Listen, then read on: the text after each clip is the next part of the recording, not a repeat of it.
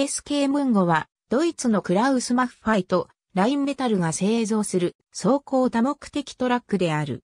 ESK とは、の略称であり、ムンゴとは、ドイツ語で広義には、マングースの愛称であり、狭義には、ジャワマングースとハイイロマングースを指す。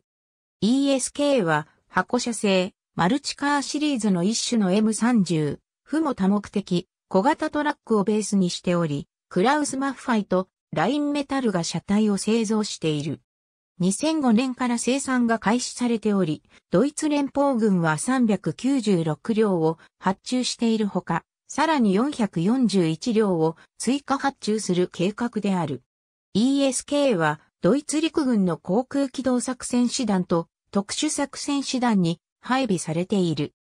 このため ESK はイサフに派遣される形でアフガニスタンでの作戦行動に従事していたが、アフガニスタンのあまりに険しい悪路に適応しきれず、整備がままならないことが判明したため、2008年に ESK はすべてアフガニスタンから撤収させ、他の車両に置き換えることとなった。